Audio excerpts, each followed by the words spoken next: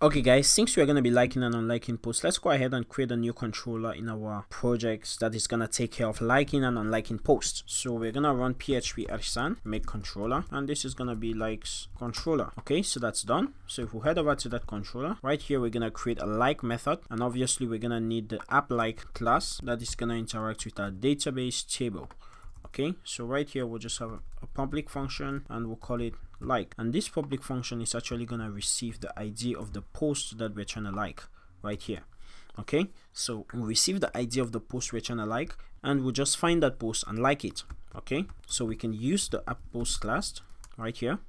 So we'll say post find with id right here okay? So we found the post and the next thing is to actually like it. So we'll go ahead and save that in a variable okay so the next thing is actually to create that like in our database. So we'll say like create and the user id or the the user who is liking this will be called would be the authenticated user's id and the post id would be what we just found.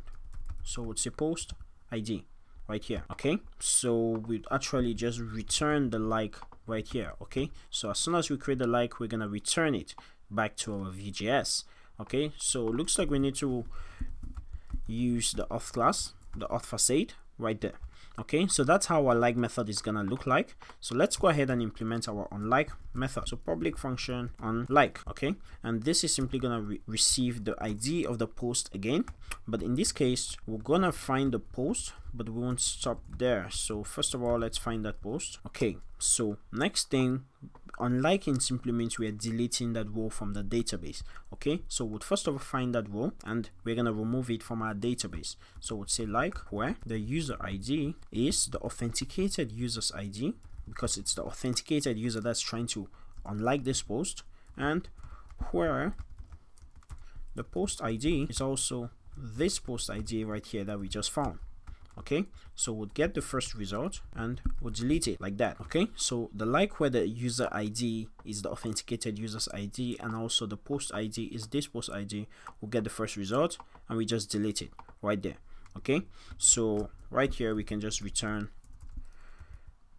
a one to say that we deleted it okay? So that's how our unlike is gonna look like. So we can like and unlike post right now.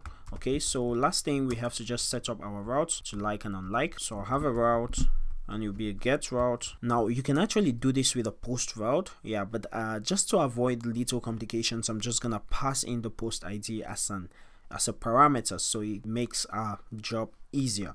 Okay so right here i'll have a slash like route. And this is gonna take in an array. So uses the likes controller at like method and uh, the unlike route is gonna use the unlike method like this okay? So we have the like and unlike endpoints set up